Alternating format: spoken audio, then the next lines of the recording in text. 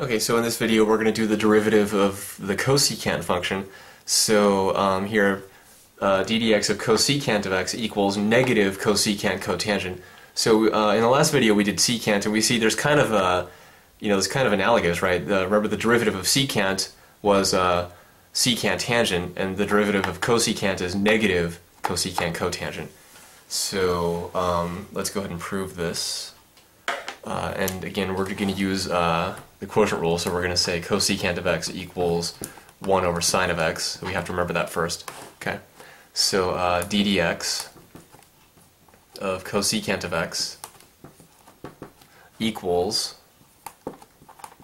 ddx of 1 over sine of x.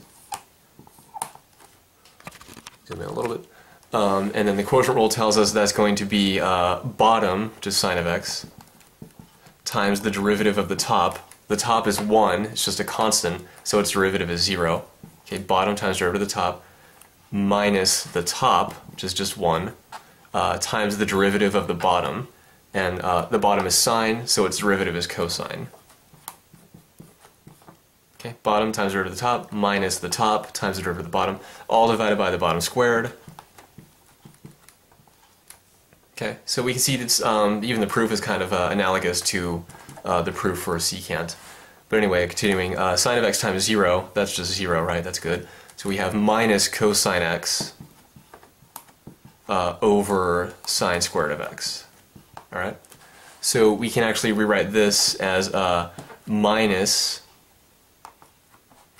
1 over sine of x times cosine x over sine of x all right?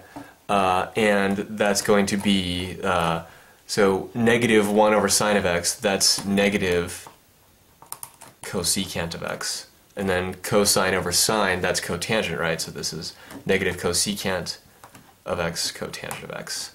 Um, so it's pretty much uh, almost identical to uh, the secant proof. Uh, the only difference is, you know, we have this minus sign now.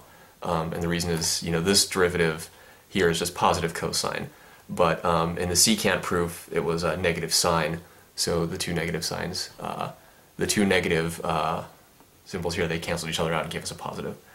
But um, anyway, this is the proof for the uh, derivative formula for cosecants.